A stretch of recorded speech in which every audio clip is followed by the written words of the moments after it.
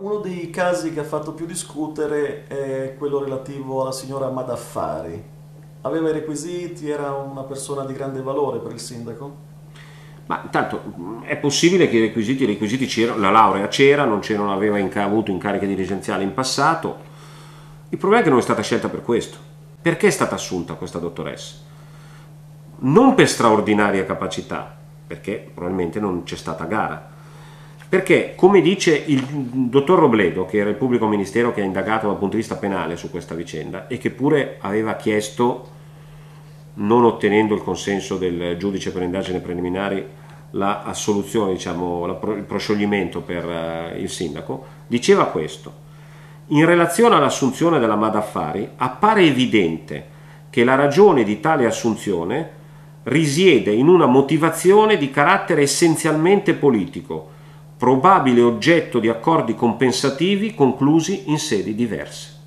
Ora, a me pare che al di là possono anche andare assolti dal punto di vista giuridico, ma il dire che in un luogo dove è importante avere imparzialità, in un luogo nel quale si deve far crescere il meglio delle esperienze che ci sono nella nostra città, nella nostra regione, nel nostro paese, le persone vengano scelte semplicemente per accordi politici pregressi, con questa dottoressa che era stata candidata alle elezioni politiche e non era stata eletta e immediatamente dopo è stata assunta dal Comune di Milano, non mi pare che sia un esempio di amministrazione sciolta da eh, condizionamenti della politica.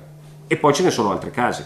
Alcuni di quelli che sono stati assunti nel loro curriculum in posto di rilievo mettevano sono stata responsabile del comitato eh, Moratti sindaco cioè nel curriculum veniva presentata come credenziale quella di aver svolto una funzione di tipo politico, non di tipo uh, amministrativo. Ecco, un'altra replica della Moratti è questa, che mm, la sentenza della Corte dei Conti riguarderebbe soltanto un pugno di casi sugli oltre 70 coinvolti.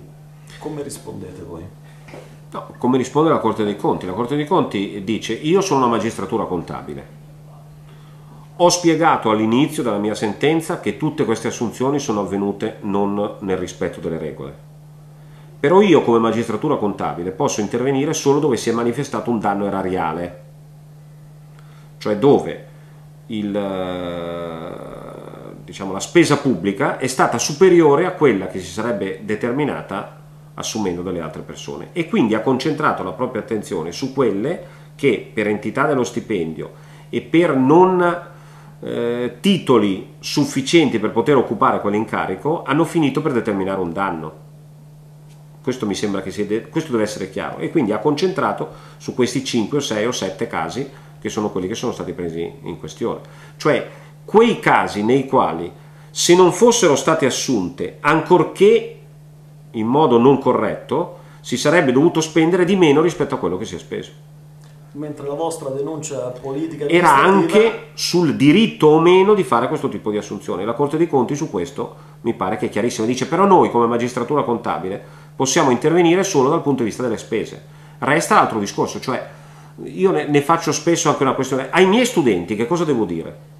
Studiate, fate i concorsi, sperate in questo modo, miglioratevi, è la selezione del merito che conta o conta di più che vi iscrivete come portaborse o come aiutante di questo o quel politico di turno per avere un incarico pubblico? A questo deve rispondere il sindaco. La Corte dei Conti gli ha detto guarda che tu non li potevi assumere queste persone così, hai sbagliato ad assumerle. Io non ti posso condannare se non per la cifra in più che hai fatto spendere, però sappi che queste assunzioni così non si potevano fare.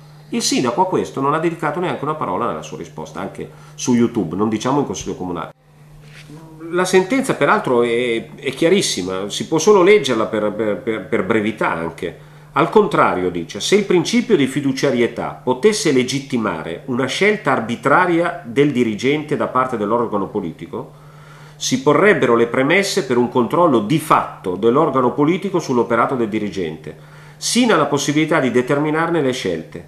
Si creerebbero così le premesse per esporre l'esercizio delle funzioni dirigenziali ad un pesante condizionamento dell'organo politico di vertice, chiamato la nomina dei dirigenti generali, i quali a loro volta procedono alla nomina della dirigenza subordinata, con grave pregiudizio, ancora una volta, dei principi costituzionali di imparzialità e buon andamento. Mi pare che siano parole che non, meriti, non abbiano bisogno di nessun commento. Però alcuni dei dirigenti sostituiti hanno accettato di andarsene liberamente. Liberamente. Eh beh, una bella espressione, libera è una bella parola. Accade che qualcuno ti viene a dire che se tu non ti dimetti, non verrà riconfermato in quell'incarico dirigenziale. Magari quell'incarico dirigenziale ti comporta 200 300 o 400 euro in più al mese e questo, il fatto di andare in pensione con questo incarico dirigenziale oppure ritornare a essere retrocesso alla posizione precedente ti fa pesare questo stipendio in meno per tutti gli anni della liquidazione della pensione. Tu che ti senti libero di poter decidere se far questo, è chiaro che non si tratta di una libertà, si tratta di una vera e propria minaccia. Eh, il sindaco ha un bel dire avete firmato, si fa presto a parlare quando non si hanno problemi economici, quando tu tornando a casa porteresti a casa ogni mese 300 o 400 euro in meno e che questo denaro in meno significa che lo moltiplichi per tutti i mesi della liquidazione e per tutti gli anni della pensione, che cosa puoi fare? Sei libero o sei costretto a firmare questa dichiarazione? A un certo punto la Moratti dice che il capo di gabinetto lei l'ha ereditato la giunta precedente, non ha nessuna colpa. E l'ha riconfermato nell'incarico. Per cui se il sindaco intende sgridarci per non aver fatto prima questa segnalazione, accetto la sgridata.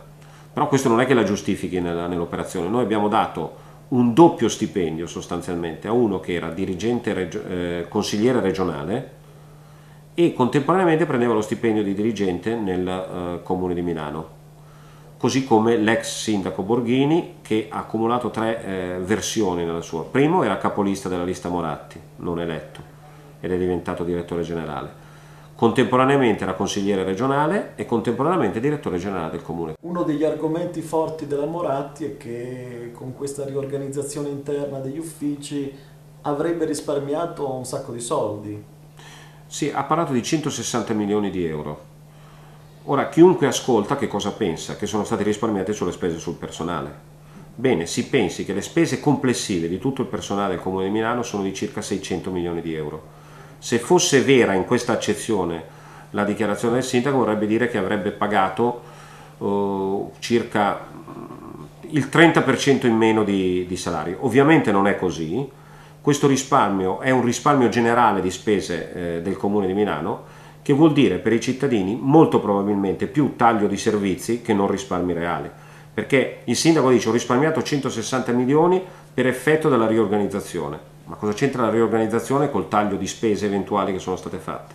Non ha certamente risparmiato sul personale, perché ripeto, se fosse vera questa cifra riferita al personale, vorrebbe dire che un quarto e forse un terzo del personale non avrebbe ricevuto lo stipendio, cosa che ovviamente non è vera.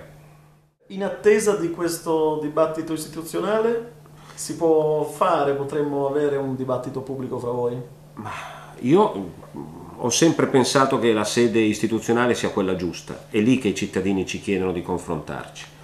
Se il sindaco però ritiene di snobbare il Consiglio Comunale di Milano e di non farlo, in qualunque momento, intervistato da chiunque, in un confronto vero tra quello che dice il sindaco e quello che ho detto io, ma che per la gran parte sono le cose che ha detto la Corte, la Corte dei Conti, io sono disponibile a farlo. È chiaro che non funziona il metodo dove non esiste contraddittorio. Quindi invitiamo da qui la Moratti, che sicuramente prima o poi vedrà questo video, a confrontarsi pubblicamente a Milano, magari con moderatore Red Ronny? Magari, anche se insomma come arbitro io non sono in grado di offrirgli quello che gli ha offerto il sindaco Moratti in no, queste, in stai queste... insinuando qualcosa? No, sto portando degli elementi eh, che Red Ronny, una, una società legata a lui, ha goduto per qualche mese di quell'impianto gigantesco che c'è stato in Piazza Duomo, per la verità talvolta anche criticato per la sua eh, invasività, che era il Museo del Rock, eh, per il quale l'amministrazione comunale ha riconosciuto 420.000 euro. Quindi questo è un dato di fatto, cioè non sto dicendo ci sono le delibere, poi se i risultati siano stati così entusiasmanti non lo so, poi io non ho seguito il sindaco nei viaggi attorno al mondo per conquistare l'Expo, mentre vedo dalle, dai suoi reportage che... Ma a me va bene anche Red Ronnie come intervistatore, non ho assolutamente problemi perché la forza dei fatti e degli elementi è superiore a qualsiasi altra interpretazione.